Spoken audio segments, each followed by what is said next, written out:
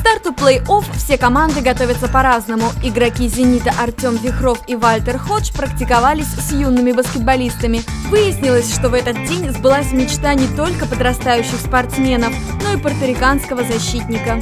Он давно хотел попробовать себя в роли Дэвидаса, нашего тренера по физподготовке, немного, можно сказать, помучить ребят. Вот.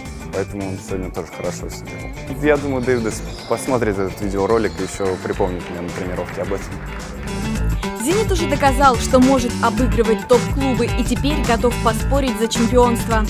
Нужно думать постепенно, то есть первый, настраиваться на первый раунд, скорее всего, против Нижнего, решать эту задачу и потом уже постепенно решать другие задачи. Но как бы в голове каждый, наверное, держит, что хочет стать чемпионом, э, привести этот титул в Петербург, то есть спустя там большое количество времени и готовы, я думаю, сделать все возможное для этого, то есть приложить максимум усилий на играх, на тренировках, чтобы получить этот титул.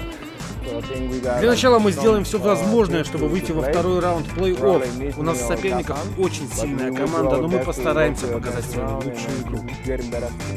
При этом в случае успеха игроки готовы на многое. Даже главная звезда футбольного «Зенита» Халк рискует уйти в тень. Пока не бреюсь, а, вот, но не знаю, пока как-то не было никаких мыслей, но если «Зенит» выиграет, не знаю, могу также последовать примеру там Халка, спеть на Невском или станцевать, что-то сделать сумасшедшее. Все зависит от предложения, которое мне поступит.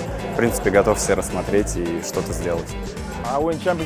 Мне уже доводилось выигрывать чемпионат, пусть и в другой стране. У меня была необычная стрижка, сейчас просто хочется победить и насладиться успехом. Вихров пообещал спеть? Нет, для этого я уже староват.